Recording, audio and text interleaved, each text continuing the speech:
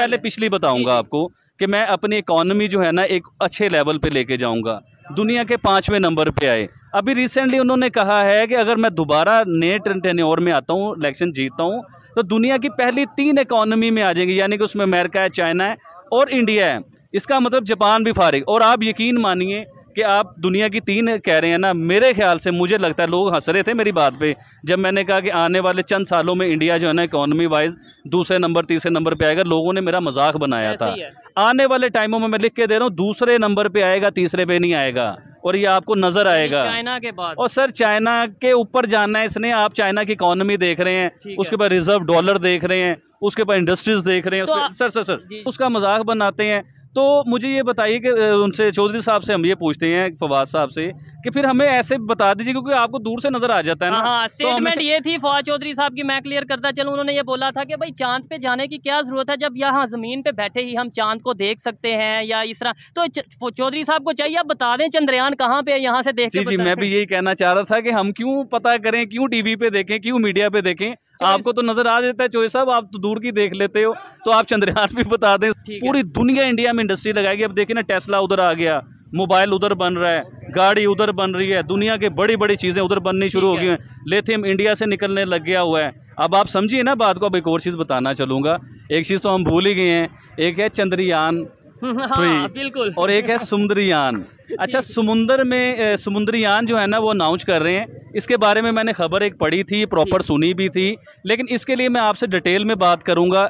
Proper उस पर study करके हवाओं में नहीं छोड़ूँगा लेकिन लेकिन चोई साहब की मैं बात ये बताना चाहूँगा कि चोई साहब जो है वो बैठे बिठाई चाँद को देख लेते हैं हाँ, हाँ। और चाँद के बारे में और इंडिया के लिए मज़ाक भी बनाते हैं जब वो पिछली बार उनका वो चाँद पे है। चाँद पे जब नहीं जा सका था क्योंकि ये साइंस एंड टेक्नोलॉजी के मिनिस्टर थे वज़ीर थे उस टाइम ना ये। तो उस टाइम इन्होंने मज़ाक बनाया था।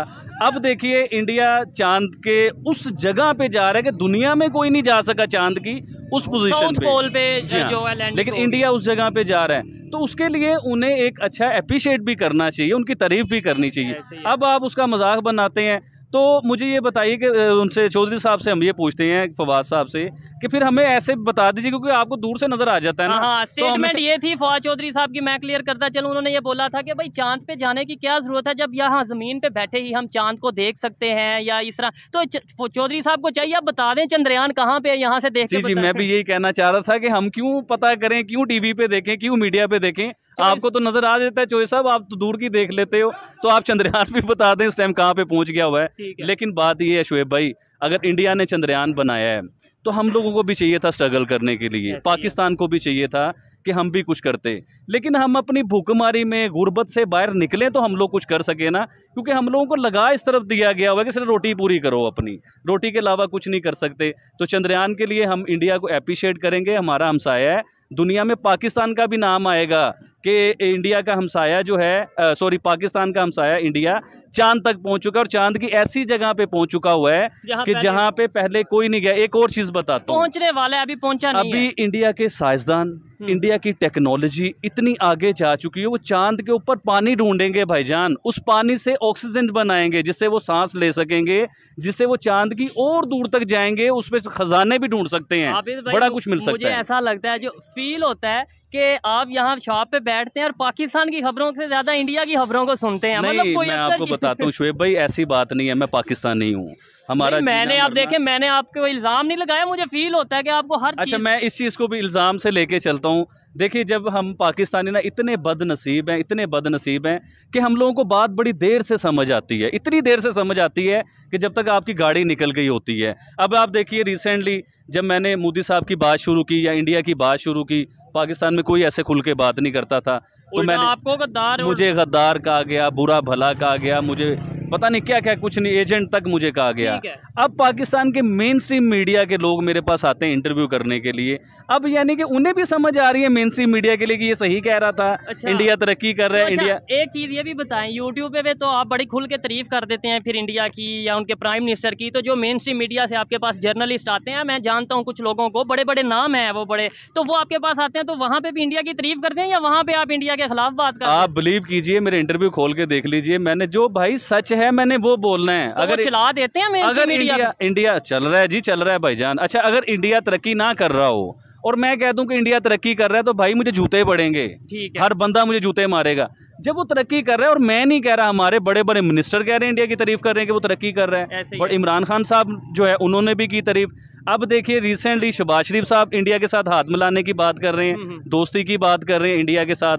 अल्लाह करे कि वो हमारे साथ दोस्ती कर लें उसकी वजह से हमें भी फ़ायदा मिलेगा और हमारी जो है ना ये गुर्बत में कुछ आसानी नहीं आएँगी। आएगी। आपने बोला इमरान खान साहब तारीफ़ करते हैं वो तो इस टाइम अंदर भी हो गए हैं फिर आप अपना भी ज़रा बंदोबस्त कर लें। और दूसरे नंबर पर आपने बोला शबाज शरीफ जो कि इस टाइम प्राइम मिनिस्टर हैं वो चाह रहे हैं इंडिया से रिलेशन बेहतर हों। मुझे ये बताएँ आपको ये चीज़ समझ नहीं आती कि तीन चार दिन उनकी गवर्नमेंट को रह गए और आज वो चाह रहे हैं रिलेशन बेहतर हों डेढ़ साल से गवर्नमेंट में थे तब तो उन्होंने इस तरीके से कोई स्टेप नहीं लिया। देखिए जब गवर्नमेंट चेंज हो रही होती है ना जब इलेक्शन का टाइम आता है तो कुछ ऐसे काम किए जाते हैं कि जिसकी वजह से नेक्स्ट आपको वोट मिल जाएँ। हाँ। और अभी देखें इमरान खान साहब अंदर चले गए पीछे वही पीडीएम रह गया हुआ।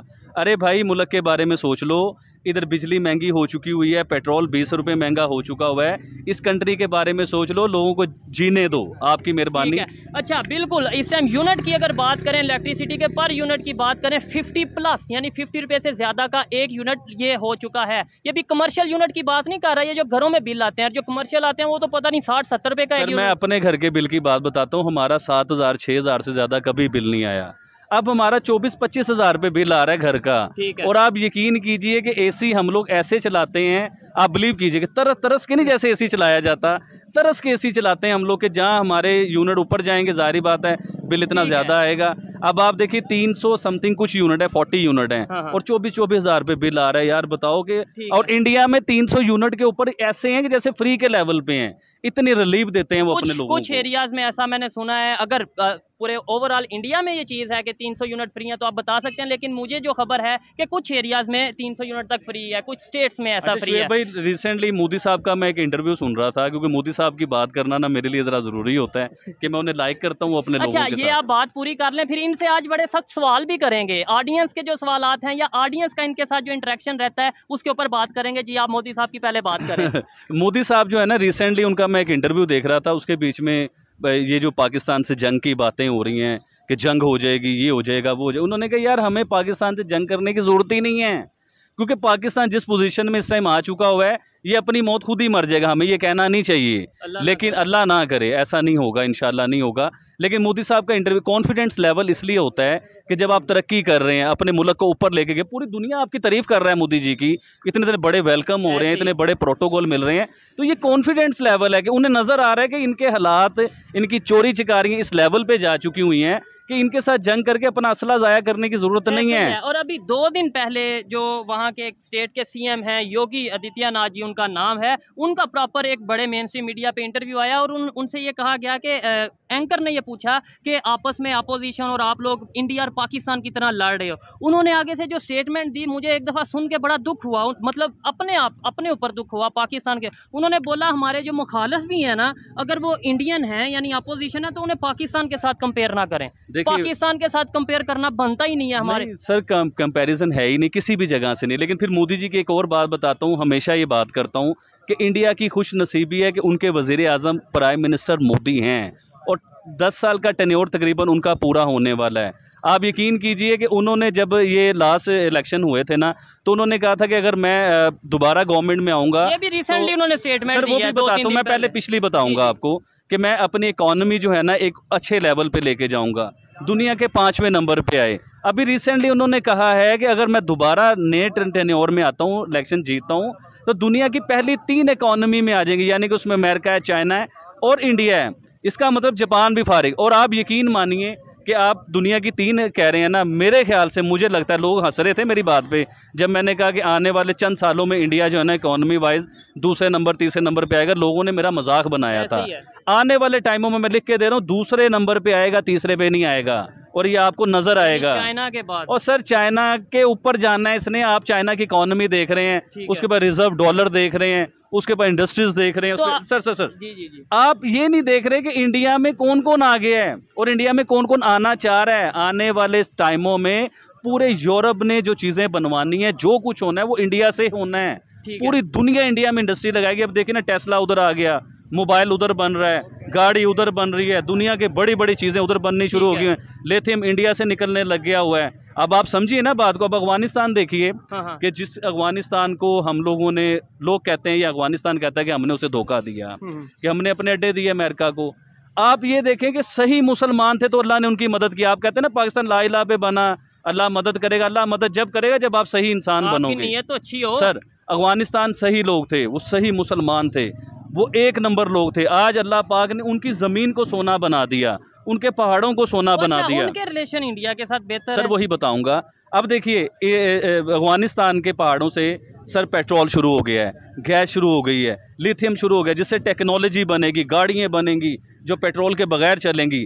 अब, अब इंडिया ने क्या किया? देखिए मास्टरमाइंड मोदी को मैं क्यों कहता हूँ? मोदी जी क्लास हैं।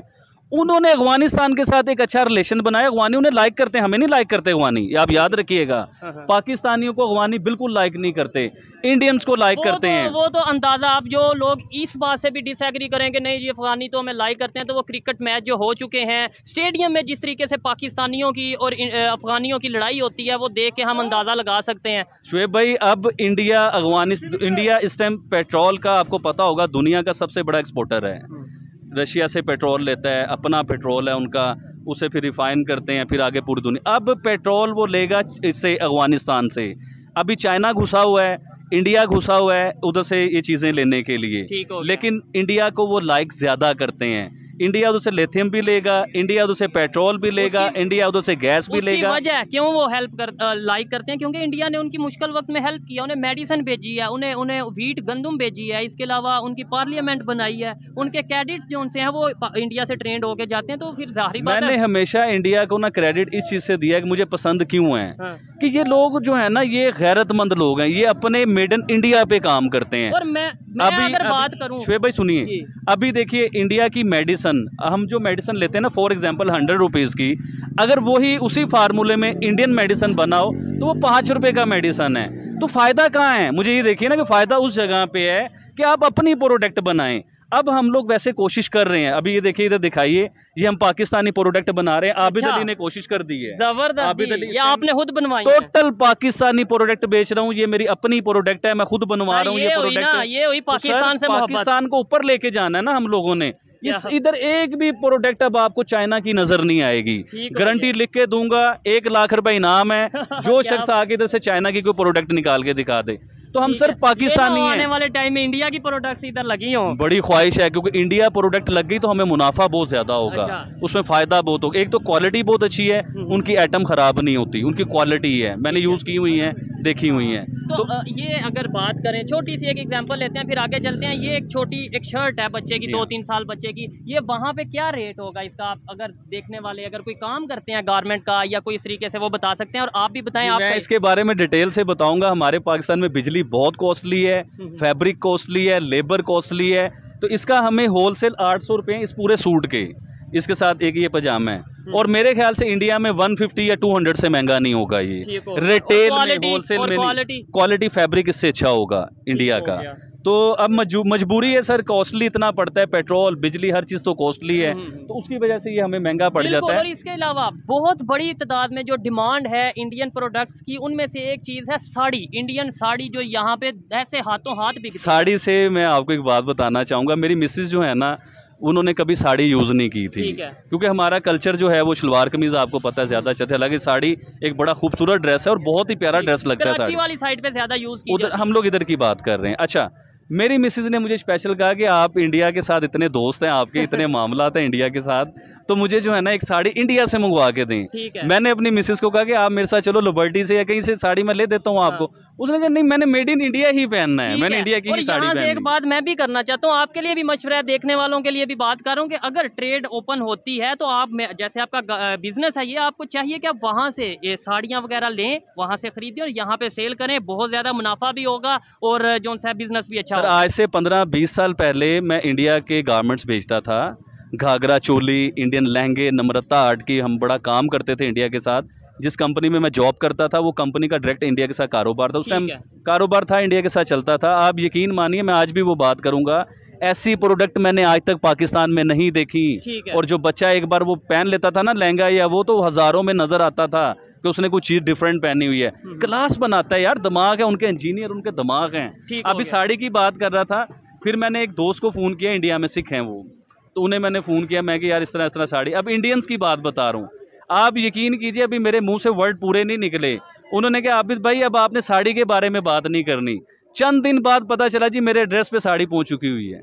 क्या बात है, आपको गिफ्ट भी आ रहे हैं, हमें तो आज तक नहीं आया। चले, खैर, ये एक वो दूसरी साइड पे बात जाएगी, इससे भी बड़े इशू बन जाएँगे, इसलिए इस चीज़ को छोड़ते हैं।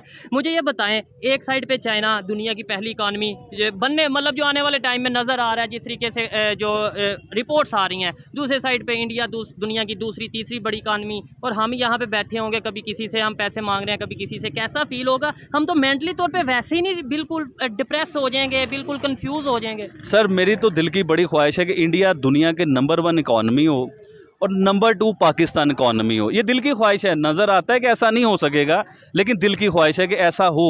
हम्म। और हमारा पाकिस्तान तरक्की करे। देखिए सर आपका दिल नहीं करता कि आप पाकिस्तान में गाड़ी लें तीन लाख रुपए की गाड़ी बाइक लें अच्छी बाइक जिसे जो हमें दस लाख की भी इधर मिलती वो आपको एक लाख रुपए में बाइक मिल जाती है और क्वालिटी पता चलता है क्वालिटी है। है। तो हमारा भी दिल करता है कि हम भी तरक्की करें हम भी ऊपर जाएँ सर। जैसे वो इंडियन भाई आए थे जिनसे मुलाकात भी की थी संदीप भाई आए थे बड़े अच्छी उनके साथ गपशप रही और वो बता रहे थे कि वहाँ पे आल्टो वो लोग खरीदते हैं जिन्होंने अपने घर में किसी को मतलब ड्राइवर को उन्होंने पता। क्यों कहा था? जब मैंने उन्हें बताया ना मेरी गाड़ी उन्होंने देखी हाँ। और मैंने उन्हें बताया कि बाईस लाख रुपए की मैंने गाड़ी ली है तो वो हंसने लगे और थोड़ी देर के लिए ना परेशान टाइप नहीं हो जाता इंसान थोड़ी देर के लिए परेशान हो गए। फिर उसके बाद कहते हैं आबिद भाई ये गाड़ी आप माइंड ना कीजिएगा। साथ मुझे ये भी कह रहे हैं कि आप बुरा ना मनाइएगा कि ये गाड़ी तो हम अपने बच्चों को गाड़ी सिखाने के लिए हाँ। कि ठोक भी दें तो कोई इतना नहीं है। अपनी बीवी को कोई लेडीज़ फीमेल मतलब गाड़ी मतलब सीखने के लिए हाँ। सीखने के लिए तो मतलब एक आम टाइप गाड़ी और इधर देखे ना छत्तीस लाख बत्तीस लाख आल्टो गाड़ी की बात बता रहा हूँ यार। अब मेरान देखे मेरान नहीं आ रही।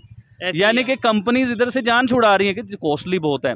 अभी रिसेंटली मैं एक बात सुन रहा था कि एक चाइनीज़ कंपनी में एक पाकिस्तानी इंसान जॉब कर रहा था अच्छी पोस्ट पे था ठीक है तो उस कंपनी ने पाकिस्तान में अपनी इंडस्ट्री लगाने के लिए जो है ना पाकिस्तानी गवर्नमेंट को अपील की कि हम इधर हाँ। अपनी इंडस्ट्री लगाना चाहते हैं तो पाकिस्तानी गवर्नमेंट ने जब अपने टैक्स बताए इंसान को तो चूस लेते हैं मार देते हैं टैक्स इतने होते हैं कि इंसान कहता है भागो हम्म। निकलो इस मुल्क से तो इन्होंने जब अपने टैक्सेस बताए कि हम इतने टैक्स लेंगे इतनी कमीशन लेंगे ये करेंगे वो करेंगे उसने ऐसे हाथ जोड़े और इंडिया में जाके इंडस्ट्री लगा दी उसने। अब मुझे बताएँ कि वैसे आप कहते हो कि इंडिया और चाइना की जंग है। है। अब चाइना ने चाइना बिजनेसमैन है वो बिज़नेस को देखता है। उसने इंडिया में अपनी जब इंडस्ट्री लगाई आज पाँच हज़ार बंदा उस इंडस्ट्री में जॉब कर रहा है। है। और मजीद वो कह रहे हैं पाँच लाख तक का टारगेट है और लोगों को लेके जाने का। यहाँ पे तो खुलती तो गुर्बत गुर्बत की बात ही बताना चाह रहा था कि उन लोगों को इंडियंस को फ़ायदा मिला उससे इंडिया के पाँच हज़ार लोगों के घर चलने शुरू हो गए उधर से। तो जहाँ भूखे मर रहे हो, कम से कम आप ये सोच लो कि हम इन्वेस्टर को फ़ायदा देंगे तो तुम्हारे पाकिस्तानियों को फ़ायदा मिलेगा। लोगों के घर आटा दाल चीनी जाने लग जाएगी। और बड़ी बात हम तो दोस्त भी है ना आयरन फ्रेंड है चाइना के साथ हाँ, बड़ी दोस्ती अब इतने हम फ्रेंड थे तो फ्रेंड तो फिर वो उसका निकला ना फ्रेंड तो उसका हुआ अच्छा आबिद भाई आज जरा आपसे भी मेरा दिल कर रहा है मतलब माहौल बना है मेरा दिल कर रहा है आपसे भी सख्त सवाल किए जाए क्या वजह है? मतलब मुझे कभी कभी जेलसी हो जाती है आपका जो इंडियन ऑडियंस है देखने वाले हैं व्यूअर्स हैं बड़ा आप पे ट्रस्ट भी करते हैं आपकी बात को बड़ा लाइक भी करते हैं। मुझे कभी किसी ने नहीं कहा कि सोहेब भाई आप कल फिर वीडियो बनाए या परसों फिर नो डाउट मैं बनाता हूँ डेली लेकिन हर वीडियो के नीचे कमेंट आ रहे होते हैं आबिद भाई को लेके आए आबिद भाई को लेके आए क्या सीन क्या है? भाई उसके बारे में खुद तो नहीं करवा रहे नहीं कमेंट नहीं नहीं नहीं मैं आपको सही बात बताता हूँ। ये जो ऑडियंस आपको देख रही है ना ये हाँ। पढ़े लिखे लोग हैं जाहिल नहीं है हमारी तरह। और पढ़ा लिखा इंसान जो होता है ना एक मिनट में जज कर लेता है कि ये इंसान सच बोल रहा है या झूठ बोल रहा है या फेक सीन कर रहा है? बड़ी ऐसी चीज़ बड़े लोग हैं जो तारीफ़ कर रहे हैं। इवन बात की जाए मतलब जो भी है अगर इंडिया पाकिस्तान के कंटेंट पे काम कर रहा है वो कहीं ना कहीं तारीफ़ कर रहे हैं इंडिया की। नो डाउट कोई सच भी कर रहे हैं कोई थोड़ा बहुत अपने पास से भी बात कर रहे हैं। तो आपकी तारीफ़ जो की जा जो आप तारीफ़ करते हैं वो ही क्यों पसंद की जाती है? सर एक्चुअली मैंने इंडियंस के साथ हमेशा कभी भी झूठ नहीं बोला। अब देखिए हर बंदा आप भी हूँ माइंड ना कीजिएगा मैं आपको भी बीच में लेके आ रहा हूँ। कोई भी बंदा अपना काम कर रहा है ना तो उसे पैसे आते हैं। ठीक है आपका भाई आज तक आप भी हल्फ उठा सकते हो कि आपके भाई ने पैसों के लिए काम नहीं किया जिस बंदे को अल्लाह ने इतना दिया हो हम्म। उसे ज़रूरत नहीं है पैसे कमाने की तो मैं हमेशा अपने मुल्क के लिए बात करता हूँ मैं इंडिया के लिए बात नहीं करता। आप लोगों को गलत फहमी होती है। नहीं मैं मुझे तो चीज़ें क्लियर हैं हाँ। लेकिन ओवरऑल लोगों मैं के तड़प रहा होता हूँ अपने मुल्क के लिए। मेन एंड जो है ना बीच में से निकलता ये है कि पाकिस्तान को तरक्की कैसे करवानी है पाकिस्तान को ऊपर कैसे लेके जाना है। आज मैंने कोशिश की है ये। शर्म दिलवाने की कोशिश जी करते इन्हें शेम शेम शेम फील करवाता हूँ। आज मैंने ये कोशिश की है कि मेड इन पाकिस्तान स्टार्ट किया है। ठीक है। तो इस तरह और लोगों को भी चाहिए हमारी गवर्नमेंट को चाहिए कि डंडा पकड़ लें हाथ में हम्म। और हर बंदे को हर इंडस्ट्री को कहें जी मेड इन पाकिस्तान फैसिलिटीज़ दी जाए पॉलिसीज़ बनाई जाए और इन्वेस्टर को इन्वेस्टर को प्रोटोकॉल देना बहुत ज़रूरी है। जब इन्वेस्टर को आप परेशान कर दोगे टैक्स के ऊपर इन्वेस्टर को अपनी कमीशनों पे परेशान कर दोगे तो इन्वेस्टर कोई नहीं घुसना। नो डाउट हमारी बड़ी तादाद में जो ऑडियंस है वो इंडिया से हमें ज़्यादातर देखती है लेकिन पाकिस्तान से जितने भी लोग देखते हैं उनसे रिक्वेस्ट है कि मेड इन पाकिस्तान को प्रमोट करें देखें। हमें यह भी दुख होता है कि हम इंडिया की तारीफ़ क्यों करते हैं पाकिस्तान को क्रिटिसाइज भी करते हैं और साथ ये भी हमें समझ नहीं आती कि भाई हम पाकिस्तान के लिए क्या कर रहे हैं। जिन लोगों को ये लगता है कि हम पाकिस्तान को क्रिटिसाइज करते हैं वो अपने गिरेबान में भी झांके कि वो पाकिस्तान के लिए क्या कर रहे हैं। वो भी चाइना की प्रोडक्ट सेल कर रहे हैं वो भी बाहर से चीज़ें इंपोर्ट करके यहाँ सेल कर रहे हैं और दर्द पाकिस्तान के लिए अच्छा शुएब भाई मैं एक और बात करना चाहूँगा लोगों को शायद बड़ी बुरी लगे ये बात। जो औरतों के लिए कहा जा रहा है ना पूरी दुनिया में कि पाकिस्तान में औरतें महफूज नहीं हैं पाकिस्तान में औरतें जॉब नहीं करती हैं ये बिल्कुल गलत बात है, क्योंकि औरतें इधर यूनिवर्सिटीज़ में भी जाती हैं कॉलेजेस में भी जाती हैं ऑफ़िस में जॉब भी करती हैं पीआईए मतलब हर फ़ील्ड में मीडिया में, हर जगह पे औरत नज़र आएगी, लेकिन उनके बीच में चंद भेड़िए भी होते हैं। गलत लोग भी होते हैं जिनकी वजह से सब बदनाम हो जाते हैं। सब नहीं तो उसमें उसकी वजह से पाकिस्तान बदनाम होता है। अब ये देखें ये जो हमारा यूनिवर्सिटी का इशू बना किसका पूरी दुनिया में किसका इमेज खराब हुआ? ना तो किसी मर्द का ना ही औरत का। इमेज खराब हुआ पाकिस्तान और देखिए वो कैसे शैतान थे कि यूनिवर्सिटी में बच्ची हैं हमारी बच्ची हैं पढ़ने के लिए आती हैं।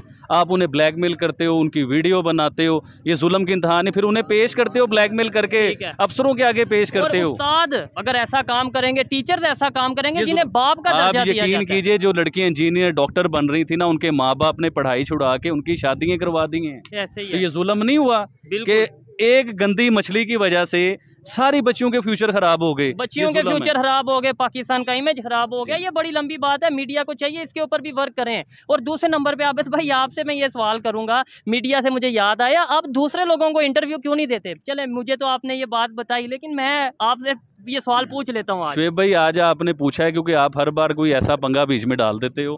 लेकिन इसके लिए मैं आपको ये बताऊँगा कि अब आपने ये बात मेरी पूरी चलानी क्योंकि आप जहाँ पे कट करते हो ना वहाँ मेरा दिमाग भी खराब होता है। तो प्लीज़ आपने कट नहीं करना। क्यों डरते हो? बात पूरी चलाओ जब मैं कर रहा हूँ। कोई मसला होगा तो मेरे ऊपर होगा ना आपको क्या प्रॉब्लम है? अच्छा आप सुनिए खैर ये तो मसले वाली बात नहीं है बात पूरी चलाइएगा। अच्छा अब आपने पूछा मुझसे ये कि आप दूसरे यूट्यूबर्स को इंटरव्यू क्यों नहीं देते? शुएब भाई मैं खुल के बात करूँगा कुछ बातें आपको भी पता हैं जो आप भी नहीं करोगे। खैर मेरे पास तकरीबन जितने भी यूट्यूब पर आप टीवी पे या अपने इंटरनेट पे आप मोबाइल पे कहीं भी देखते हो ना यूट्यूब पर वो सब यूट्यूब पर मेरे पास आते हैं। अभी रिसेंटली कुछ देर पहले भी मेरे पास यूट्यूब पर आए हुए थे आपके आने से पहले। ठीक है। वो फ़ोन पे भी मैंने आपको बताया था। खैर आप देखते हैं सिर्फ़ मीडिया के ऊपर वीडियो के अंदर जितनी रिकॉर्ड होगी आप वो देखते हैं। बैक कैमरा आपको नहीं पता कि बैक कैमरा क्या बात हो रही होती है। क्या एक दूसरे के दुश्मन होते हैं और क्या गंद फैल रहा होता है उन चीज़ों का आपको अंदाज़ा भी नहीं है। आप सिर्फ़ आधे घंटे की वीडियो देखते हैं जो आपको समझ एक सेकंड ऑडियंस ने तो ट्रस्ट करना है जो सर मैं वही बात कर रहा हूँ आप सुनिएगा आपने मुझसे पूछा कि आप इंटरव्यू किसी और को क्यों नहीं देते?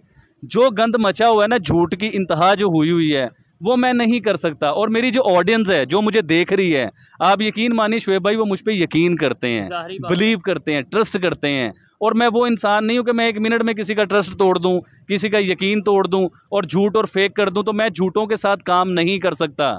मैं फेक लोगों के साथ काम नहीं कर सकता। और ये वही इंसान कर सकता है जो बिका हो। जब एक बंदा बिका ही नहीं उसे टेंशन ही कोई नहीं है। तो उसने, मैंने सारे यूट्यूबर्स में से ना, एक साफ़ सुथरा यूट्यूबर चुना और उसी के साथ चल रहा हूँ। अल्लाह ने उसे इज़्ज़त भी दी। क्यों? पूछे क्यों?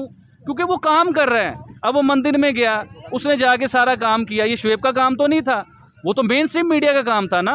उस जगह पे जाते, उस बात को हाईलाइट करते। अभी मेन स्ट्रीम मीडिया से बात करूँगा।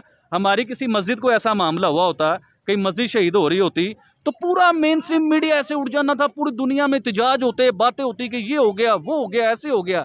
उस मंदिर के ऊपर क्यों नहीं बोला? यही था सिर्फ़ बोलने के लिए। तो फिर ऐसे इंसान को मैं लाइक क्यों ना करूँ? इसके अलावा मैं कैसे किसी और को इंटरव्यू दे दूँ? तो ये भाईजान सारी बात लेकिन मैं भी ये भी चीज़ क्लियर कर दूँ कि पहले नंबर पे तो मैं अकेला नहीं था जो मंदिर के लिए गया। मेरे तमाम देखने वाले मेरे साथ थे। कुछ लोग मुझे मतलब जब अप्रिशिएट करते हैं मेरा ये फ़र्ज़ है मेरी ये ड्यूटी है कि मैं बात क्लियर करूँ कि मैं अकेला नहीं। मेरे साथ ये जो टीम मेंबर हैं तो इनका भी उतना ही रोल है जितना मेरा रोल और दूसरे नंबर पे वो लोग जो मुझे देखते हैं जो मुझे अप्रिशिएट करते हैं जो मुझे हौसला देते हैं भाई वो भी उतना ही इस जगह पे टीम मेंबर से मुझे याद आया ये भाई हैं इनकी शक्ल किसी ने नहीं देखी कभी मीडिया पे आई ही नहीं। तो मैं सबको बताना चाहूँगा ऑडियंस को कि खाली शुएब नहीं है। इसके पीछे एक टीम है और बहुत मेहनती टीम है। शुएब कुछ भी नहीं है उनके आगे माइंड ना कीजिएगा। जीनियस माइंड जीनियस माइंड पढ़े लिखे लोग हैं इसके साथ। और वो बड़ी स्टडी करते हैं बड़ी मेहनत करते हैं आप तक वीडियो पहुँचाने के लिए। हम्म। क्योंकि ये चीज़ें मैंने देखी हुई हैं आप लोगों ने नहीं देखी उसमें देखें हमारी ज़िम्मेदारी है कि हमें तो दो तीन चीज़ें देखनी पड़ती हैं कि एक तो ये कि हम हमारे थ्रू कोई झूठी बात ना आगे चली जाए जिससे लोग देखें हमारे पे लोग देखते हैं छः सात लाख लोग दो तीन चार लाख लोग देखते हैं। एक भी छोटा सा झूठ जानने में या अनजाने में बोल दूँ तो क्या आपको नहीं लगता कि उसे बात वही आ गई ना कि लोग आप पे ट्रस्ट करते हैं लोग आप पे यकीन करते हैं। जिस दिन शुएब भाई आप झूठ बोलोगे याद रखना आपकी ऑडियंस बड़ी पढ़ी लिखी बड़ी समझदार बड़े इंटेलिजेंट है क्योंकि मैं इनके कमेंट जब पढ़ता हूँ तो उससे मुझे सब अंदाज़ा हो चुका हुआ है। है। जिस दिन आप फेक करोगे जिस दिन झूठ बोलोगे उस दिन आपको खुद समझ आ जाएगी आपकी ऑडियंस आपके साथ करती है है। और और मतलब यही चीज़ें है ना कि कुछ लोग हैं ऐसे हैं मतलब मैं क्रिटिसाइज नहीं कर रहा ओवरऑल बात कर रहा हूँ कि जस्ट करंट अफेयर देखा कोई भी न्यूज़ आई उसके ऊपर ठीक है। वो उन्हें जो और ख़ास तौर पर वो जो लोग करंट अफेयर को देखते हैं समझते हैं मैं ये चीज़ क्लियर कर दूँ कि जो लोग हमारी खबर या हमारी वीडियो देखते हैं ना, वो देखते ही इसलिए कि वो ऑलरेडी उस चीज़ को जानते होते हैं और वो जानते हैं, वो ये जानना चाहते हैं पाकिस्तान से इसके ऊपर क्या रिएक्शन आया। जब हम उसके ऊपर झूठ बोलेंगे, वो खबर ऐसी होगी नहीं जितनी खबर हम बताएँगे तो देखने वाले एक दफ़ा देखेंगे, दो दफ़ा देखेंगे, बाद में कहेंगे कि यार ये क्या पाकिस्तानी है, ये क्या जाहिल है, ऐसे कहेंगे। ऐसे कहते हैं। और दूसरा मैं आपको एक और चीज़ बताना चलूँगा